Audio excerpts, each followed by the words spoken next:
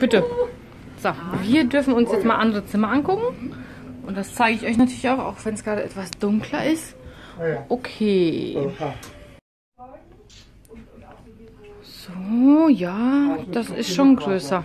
Das ist jetzt ein Suite. Das ist eine Suite, ne? Ja. Mit Küchen, äh, mit Küchenmaschine, äh, mit Kaffeemaschine. Und auch hier eine Badewanne. Whirlpool. Nicht schlecht.